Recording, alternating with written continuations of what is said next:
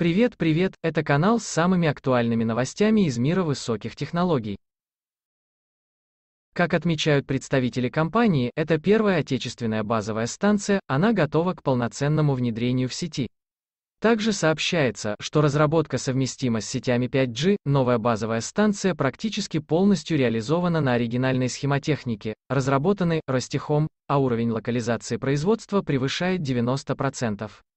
В этом году мы также представим продукты для других популярных частотных диапазонов. Создание базовой станции LTE операторского класса дает российским производителям необходимую основу и опыт для разработки и последующего серийного выпуска отечественного оборудования 5G.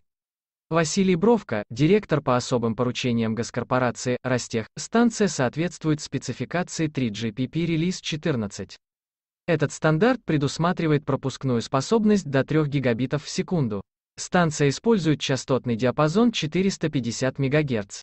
Говорится о поддержке технологий VoLTE, Voice over LTE и NB-IoT. Narrowband Internet of Things базовая станция представляет собой моноблочное решение для размещения вне помещений и разработана с учетом климатических особенностей России. Разработка функционирует при температуре до минус 40 градусов Цельсия. Предусмотрена пассивная система охлаждения. Читать далее. Посмотрите на изображение Марса из 8 триллионов пикселей ядерный ракетный двигатель строят для полетов на Марс. Чем он опасен, аборты и наука, что будет с детьми, которых родят? Если видео было вам интересным, пожалуйста поставьте лайк и подпишитесь на наш канал.